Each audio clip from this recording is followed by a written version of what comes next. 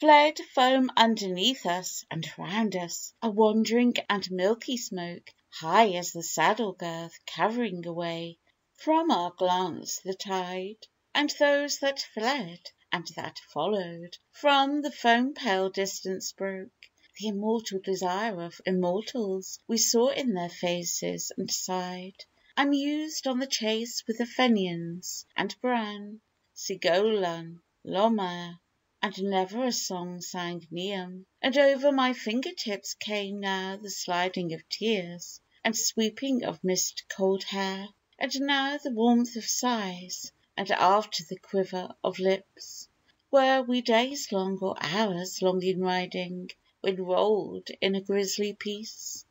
An isle lay level before us, with dripping hazel and oak, And we stood on a sea's edge we saw not, for whiter than new washed fleece Fled foam underneath us, and around us a wandering and milky smoke, And we rode on the plains of the sea's edge, the sea's edge, barren and grey Grey sand on the green of the grasses, and over the dripping trees, Dripping and doubling landward, as though they would hasten away Like an army of old men longing for rest from the moan of the seas. But the trees grew taller and closer, immense in their wrinkling bark, Dropping, a murmurous dropping, old silence and that one sound; For no live creature lived there, no weasels moved in the dark. Long sighs arose in our spirits, beneath us bubbled the ground, And the ears of the horse went sinking away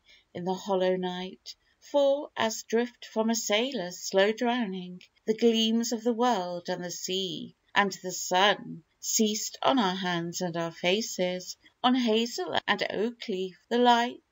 And the stars were blotted above us, and the whole of the world was one, Till the horse gave a whinny, for cumbrous with stems of the hazel and oak. A valley flowed down from his hoofs, and there in the long grass lay, Under the starlight and shadow, a monstrous slumbering folk, Their naked and gleaming bodies poured out and heaped in the way, And by them were arrow and war axe, arrow and shield and blade, And dew blanched horns, in whose hollow a child of three years old Could sleep on a couch of rushes, and all inwrought and inlaid, And more comely than man can make them with bronze and silver and gold. And each of the huge white creatures was huger than fourscore men, The tops of their ears were feathered, their hands were the claw of birds, And shaking the plumes of the grasses and the leaves of the mural glen, The breathing came from those bodies, long, warless, grown whiter than curds. The wood was so spacious above them that he who had stars for his flocks Could fondle the leaves with his fingers, nor go from his dew cumbered skies, So long were they sleeping, the owls had builded their nests in their logs, Filling the fibrous dimness with long generations of eyes. And over the limbs and the valley the slow owls wandered and came, Now in a place of star fire, and now in a shadow place wide, And the chief of the huge white creatures, his knees in his soft star flame, Lay loose in the place of shadow; we drew the reins by his side. Golden the nails of his bird claws, flung loosely along the dim ground; In one was a branch soft shining,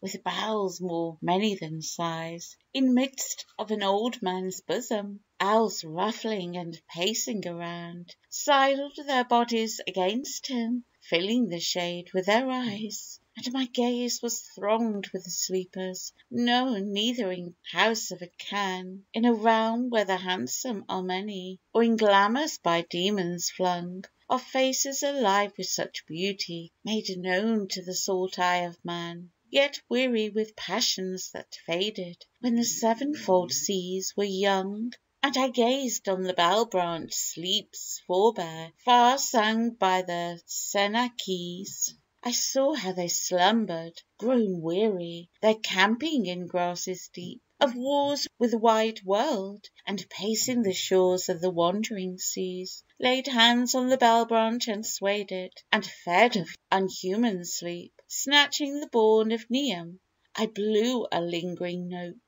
Came sound from those monstrous sleepers, a sound like the stirring of flies; He, shaking the fold of his lips, and heaving the pillar of his throat, Watched me with mournful wonder out of the wells of his eyes. I cried, "Come out of the shadow, Can of the fales of gold, And tell of your goodly household, and the goodly works of your hands, That we may muse in the starlight, and talk of the battles of old. Your questioner, Oisin, is worthy, he comes from the Fenian lands.' Half open his eyes were, and held me, dull with smoke of their dreams; His lips moved slowly in answer. No answer out of them came; Then he swayed in his fingers the bell branch, slow dropping a sound in faint streams, Softer than snowflakes in April, and piercing the marrow like flame. Wrapt in the wave of that music,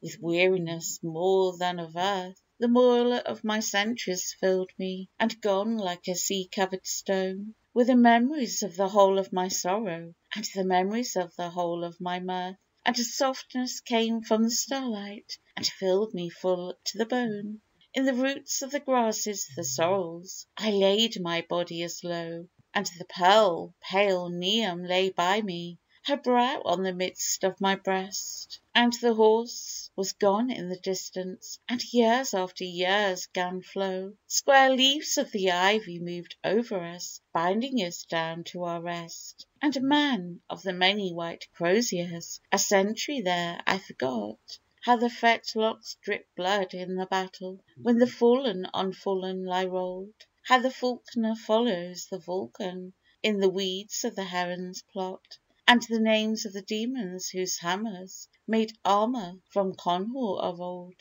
And, man of the many white croziers, a sentry there I forgot That the spear shaft is made out of ashwood, the shield out of osier and hide; How the hammers spring on the anvil, on the spear head's burning spot; How the slow blue eyed oxen of Finn low sadly at evening tide; But in dreams, mild man of the croziers, driving the dust with their throngs, Moved round me, of seamen or landsmen, all who are winter tales; Came by me the cans of the Red Branch, with roaring of laughter and songs, Or moved as they moved once, love making, or piercing the tempest with sails.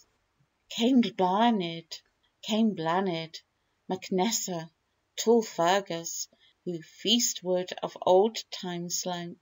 Cook Barach, the traitor, and Warward, the spittle on his beard never dry; Dark Balor, as old as the forest, Car borne, his mighty head sunk, Helpless, men lifting the lids of his weary and death making eye; And by me, in soft red raiment, the Fenians moved in loud streams, And Grania, walking and smiling, sewed with a needle of bone. So lived I and lived not, so wrought I and wrought not, With creatures of dreams, in a long iron sleep, As a fish in the water goes dumb as a stone.